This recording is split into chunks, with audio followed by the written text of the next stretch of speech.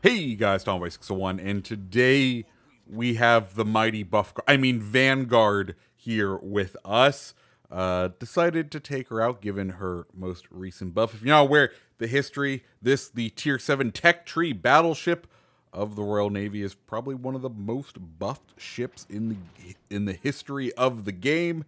And keeping with tradition, she received another buff at the beginning of this update. Nothing too huge, nothing too major, but I figured we'd take her out, see what it's like. Uh, what is this change? Well, uh, her HE main battery shell penetration is being buffed. It's going from 64 meter, uh, 64 millimeters of pen up to 95. So a nice big chunky.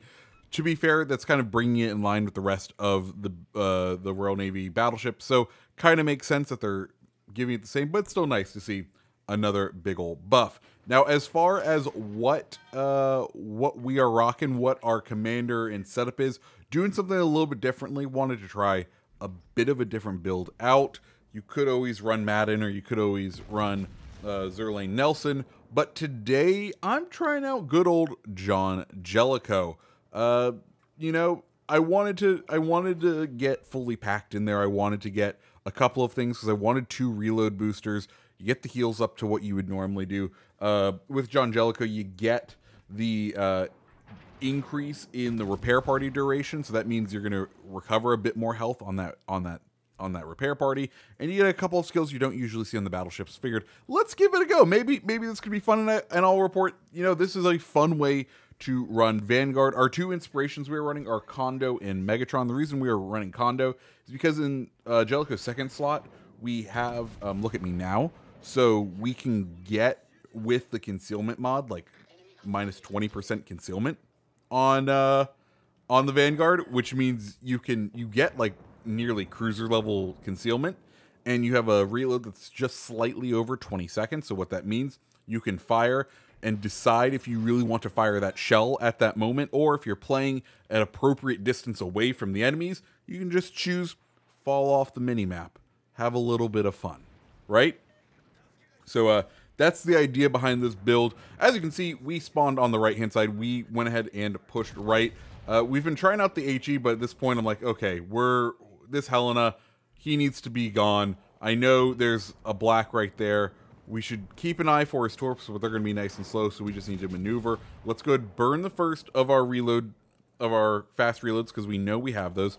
We get a beautiful slap on him, which is exactly what we wanted to do. He's going to fall off the map there, but not to worry. We still, because we're out at this weird position, have the ability to come and engage this North Carolina. So that's exactly what we're going to do. North Carolina sitting nice and broadside, uh, kind of slowing down here just in case those torps are on its way. We get a beautiful hit on that North Carolina, taking a nice big chunk out of his health pool. We can see the enemy has kind of started to consolidate, other than the two guys who are out on our flank that we still need to deal with.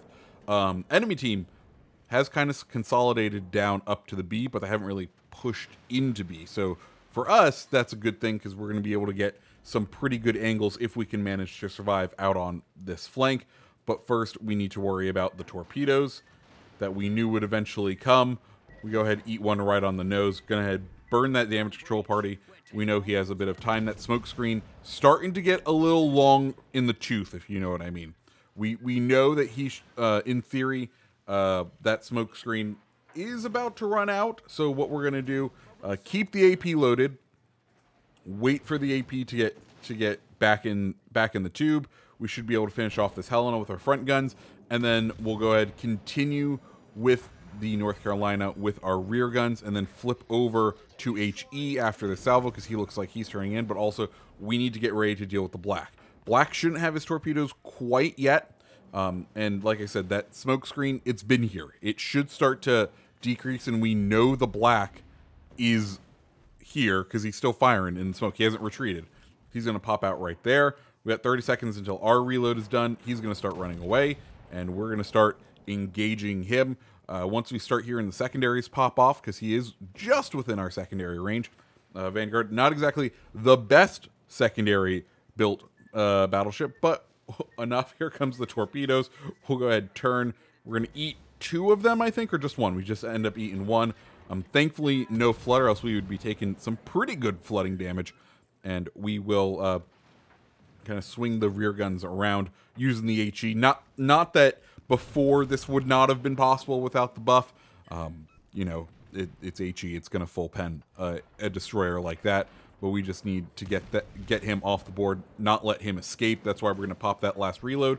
Good thing we did because we uh, missed that last shot. One one downside to this build, of course, is the fact that we don't have, we're not running any accuracy uh, perks. So this is kind of the base accuracy of what a Vanguard. I think it's still respectable, but it could use some work. Now we have to also, now we're in this section, we have to start considering our options because uh, we don't have a lot of health to really give away. We may start using our stealth build just a little bit more, but I wanted to knock that Monarch off the map. If we could knock him off the map, then we would be able to begin engaging uh, Kansas uh, and the rest of them.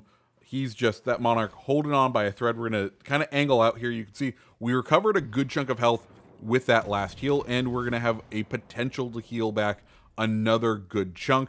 Uh, Destroyer setting a smoke screen for us. Uh, many thanks.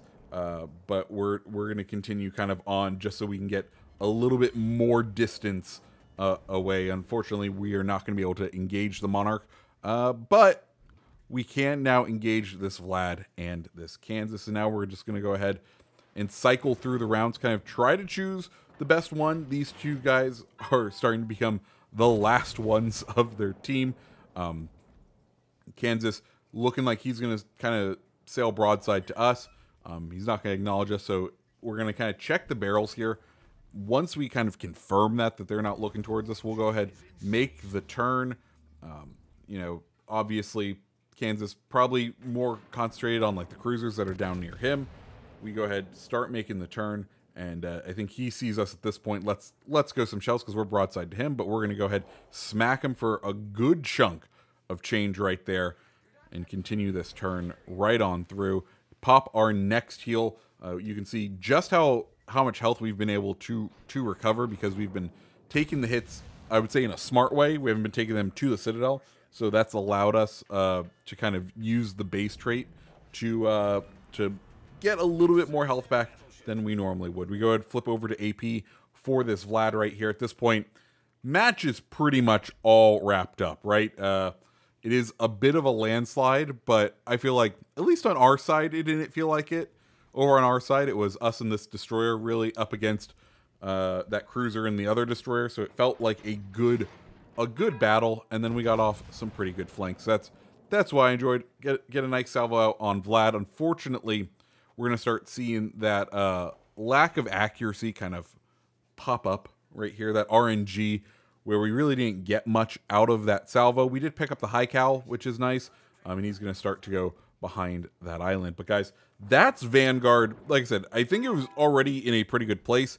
It's nice they're bringing up the HE to kind of match the rest of the Royal Navy battleship line as far as penetration goes. That way it's a little bit more consistent. But overall, um, you know, good time all around. Um, if you guys like the video, go ahead, hit the like button, hit the subscribe button, and I hope you have a fantastic rest of your day. See ya.